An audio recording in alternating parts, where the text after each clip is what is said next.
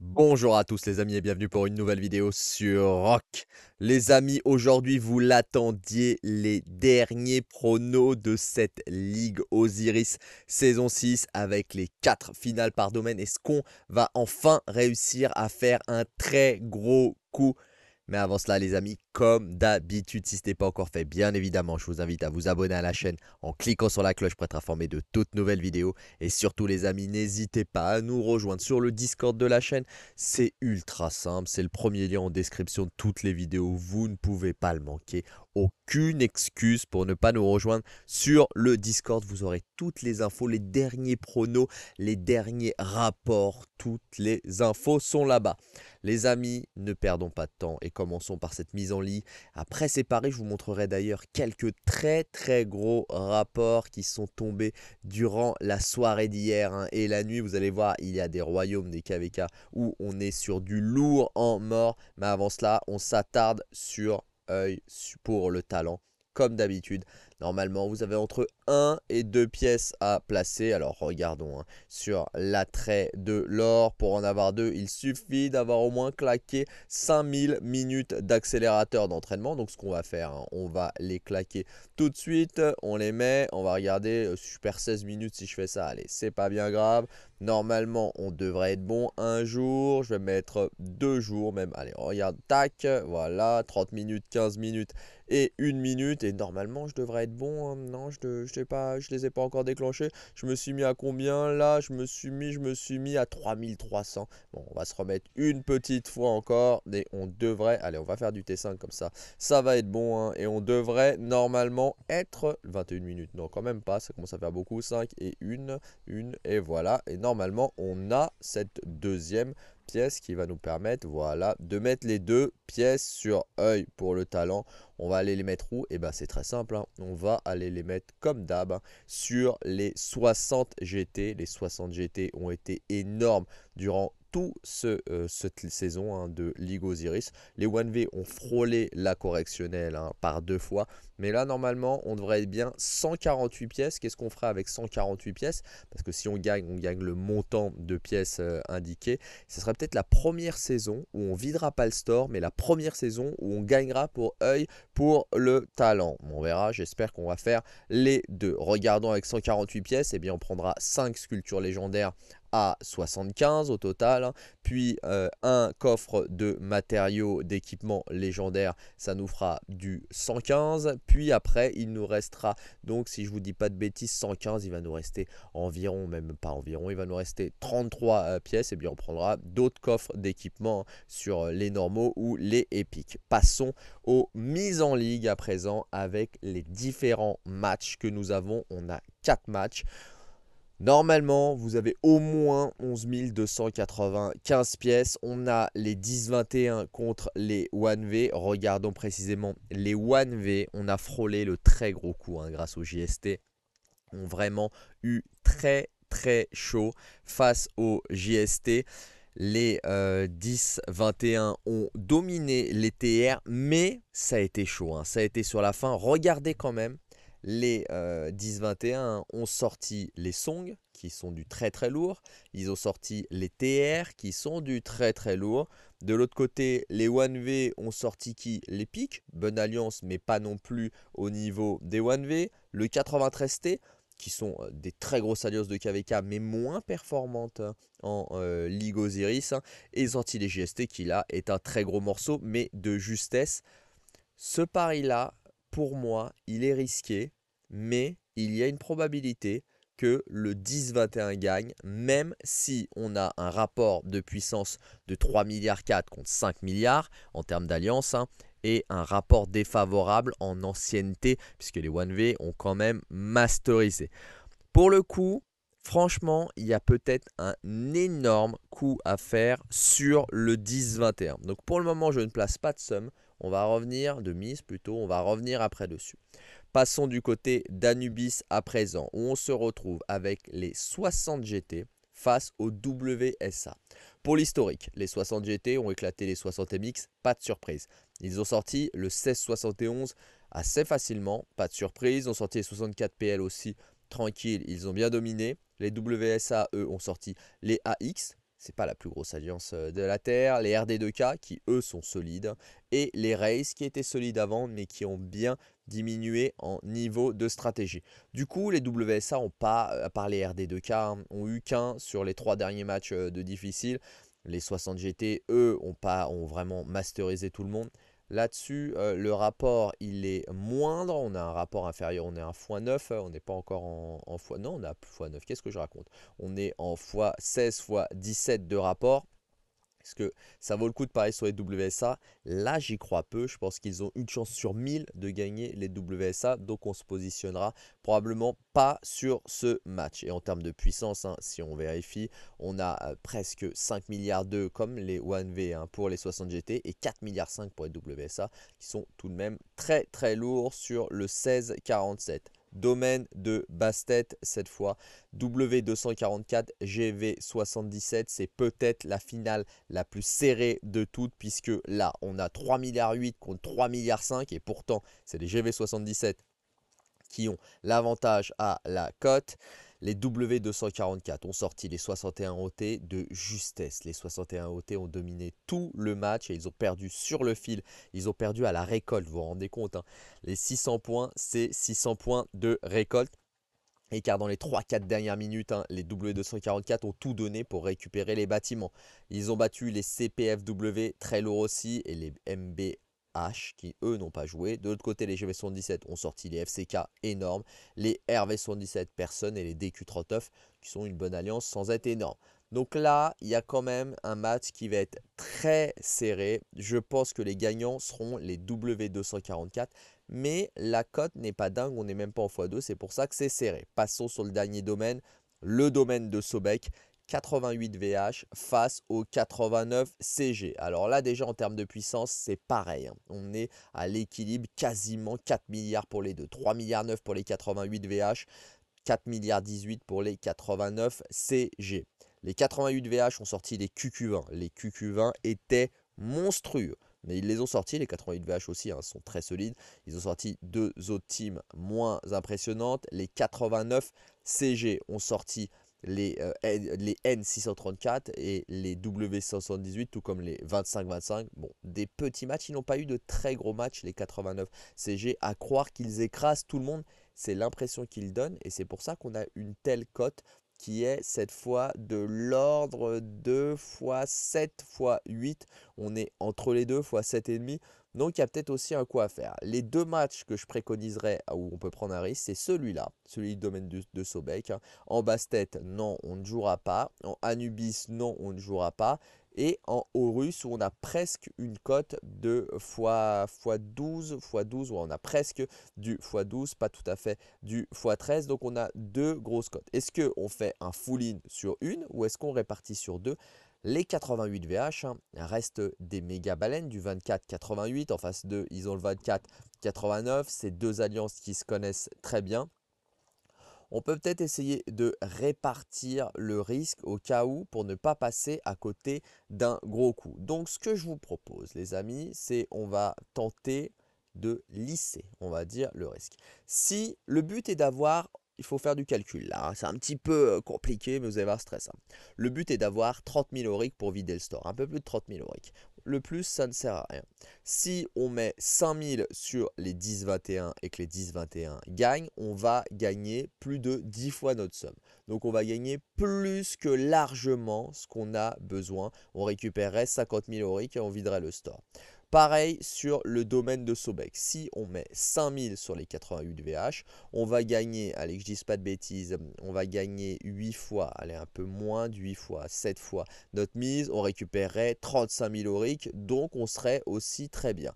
Donc ce qu'on va faire, on va mettre déjà sur, donc là, si, on va parier sur le fait que la cote aussi va bouger, on va mettre 5000 parce qu'il ne faut pas tout gâcher. Certains vont euh, parier encore suite euh, à mes paris et puis il reste encore d'autres. On va mettre 5000 sur le 10-21 et on va aller récupérer le pari de mise en ligne. S'il gagne, on vide le store.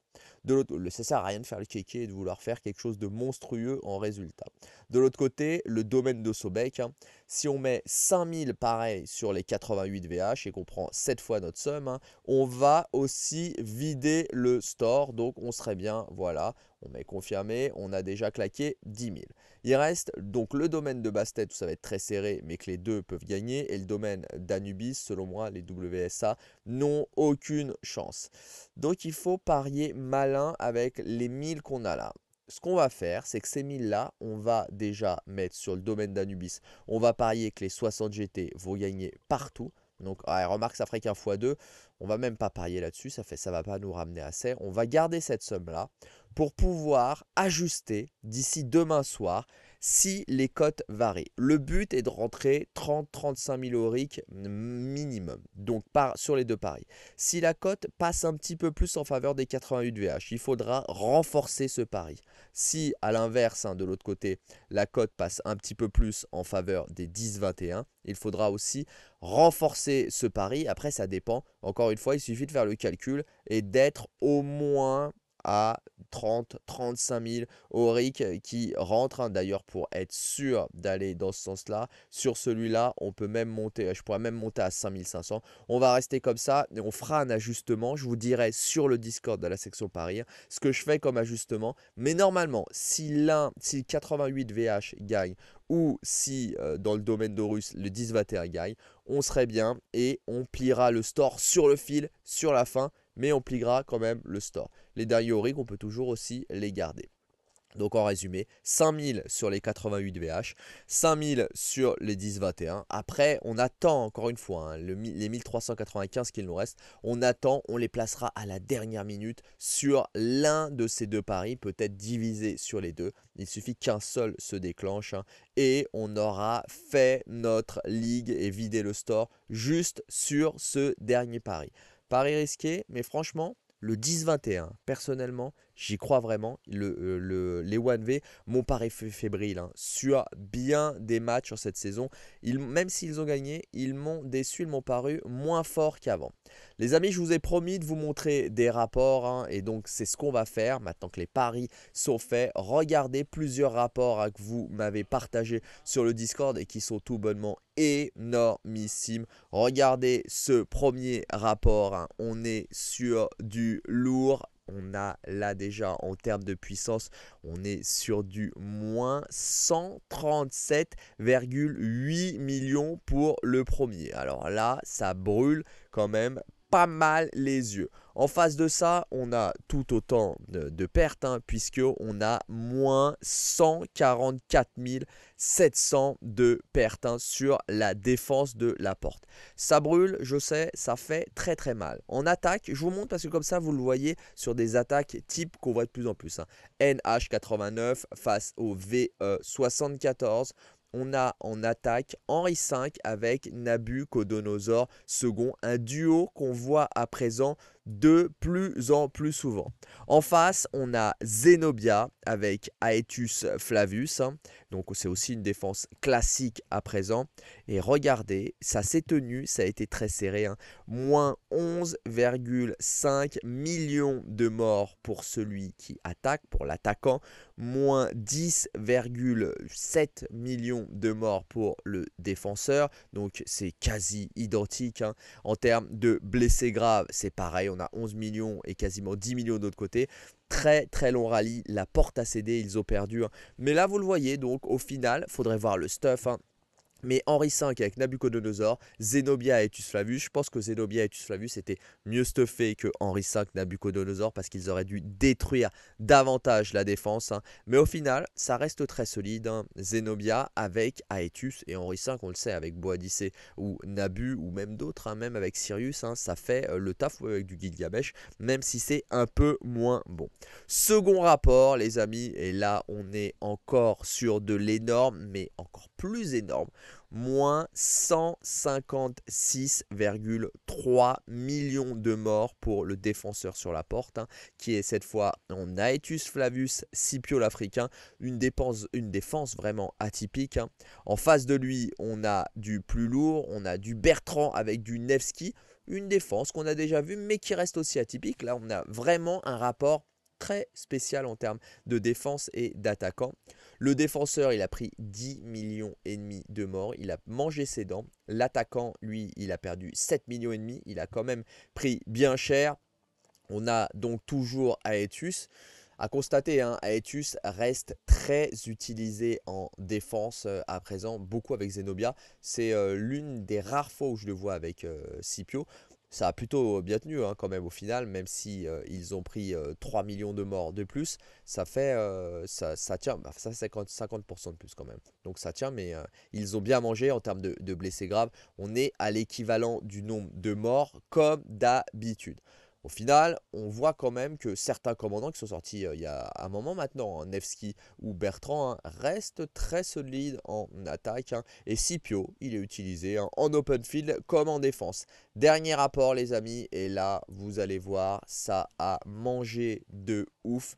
Je ne sais pas ce qu'il s'est passé, mais du côté de la porte, le défenseur, il était aussi en Aetius Flavius avec Scipio. En attaquant cette fois, on avait Boadicée avec Henri V. Et regardez, moins 127 millions dans la tête d'un côté pour le défenseur sur la porte, moins 29,2 millions, seulement 30 millions pour l'attaquant. Là, c'est un rapport dramatique. Ils ont pris en défense 8 millions et demi de morts. 8 millions et demi de morts. Quand en face, ils en ont pris que quasiment 2 millions, juste en dessous. Un rapport de plus de x4 en différentiel. C'est énormissime, les amis. Vous vous rendez compte, ils leur ont mis un ratio de x4. Ils les ont totalement détruits. Alors, est-ce que c'est un problème stuff. Est-ce que c'est un problème d'équipement au train de buff? Je ne sais pas, là pour le coup, mais Henri V avec Boadicée, très solide, hein, on le sait. Et forcément, Aetius Flavius Scipio, euh, c'est du caca en face. Hein, et très clairement, ils auraient dû... Franchement, Zenobia, Aetius, ça aurait déjà été beaucoup mieux. Là, ils ont déconné et ils en ont payé le prix fort immédiatement, il n'y a pas eu photo, ils se sont fait éclater.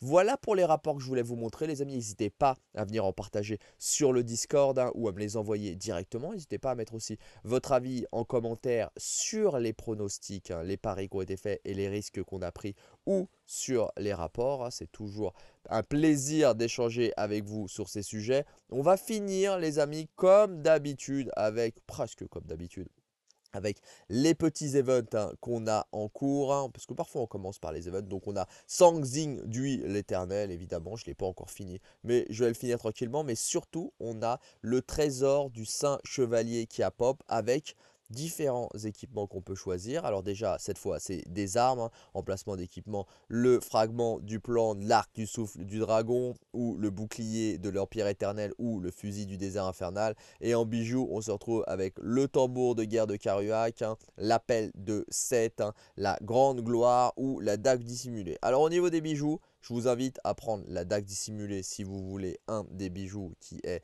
dans cette liste.